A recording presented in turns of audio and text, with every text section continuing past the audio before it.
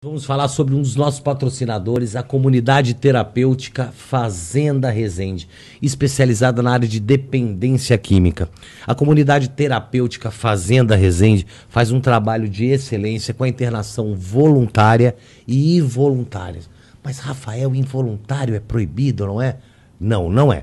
Você tem que fazer da forma jurídica correta. Então a comunidade terapêutica Fazenda Resende informa ao Ministério Público, tem um laudo do psiquiatra falando da necessidade da internação involuntária e a comunidade terapêutica Fazenda Resende faz todo esse trabalho na região sudeste do Brasil, faz com excelência, tem duas unidades, né? Na Estrada Municipal Sete Quedas em 42750 no bairro Itainguaçu, em Itu, e na rua Levi Stamberg, 230, bairro Caputera, em Sorocaba. Você quer tirar mais dúvidas? Tem o site aqui, né, que é uma rede de clínicas, www.clinicasmoara.com.br. Ali você vai achar até outras unidades pelo Brasil.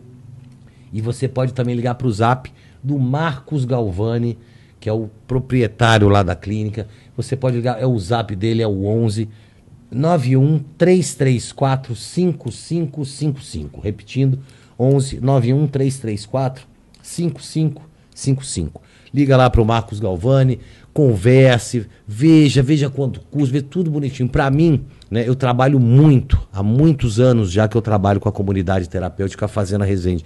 Inclusive foi lá né, que eu levei o Serginho Rondiakoff, onde ele passou lá quase 11 meses e até hoje, graças a Deus, ele está ótimo. Muito obrigado, clínicasmoara.com.br. Vamos que vamos.